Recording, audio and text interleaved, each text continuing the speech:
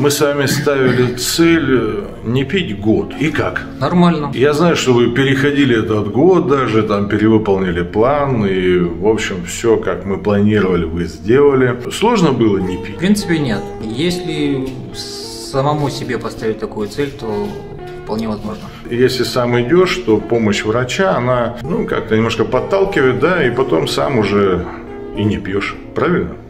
Да, да. Хорошо. Жизнь налаживается, есть стимул как-то. А жизнь действительно на- налаживается? Я считаю, что да. Налаживается. А в чем она налаживается? Ну, как-то по-другому себя чувствуешь. Не так, как когда вот, допустим, выпил или...